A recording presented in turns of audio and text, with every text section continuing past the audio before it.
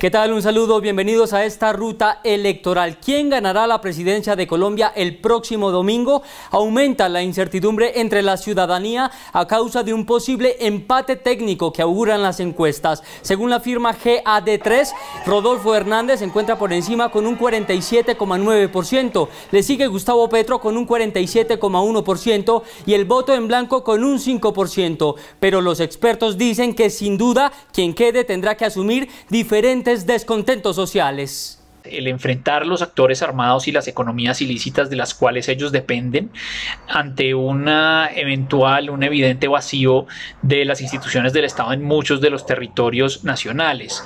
Esto, por supuesto, muy relacionado con el narcotráfico. Otra firma encuestadora, la Jan Haas, precisa que Rodolfo Hernández se haría con 35% de los votos, mientras su contrincante se haría con un 45% de ellos, lo que marca un margen de diferencia en el que la ciudadanía sigue esperanzada. Este señor Petro, cuando estuvo aquí en la alcaldía, fue un verdadero desastre. Le quedó grande Bogotá cómo será el país.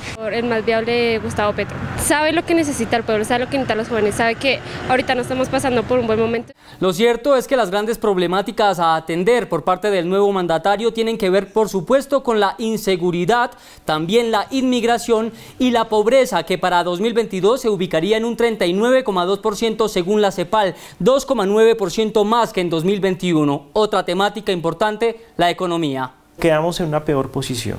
Eh, perdimos el grado de inversión, la devaluación está en máximos casi que históricos, eh, la tasa de empleo ha mejorado después de la pandemia, pero no se logró los proyectos que se querían, la inflación está desbordada, eh, si bien no todo es culpa de él, sí faltó de pronto algunos manejos interesantes para mejorar la economía.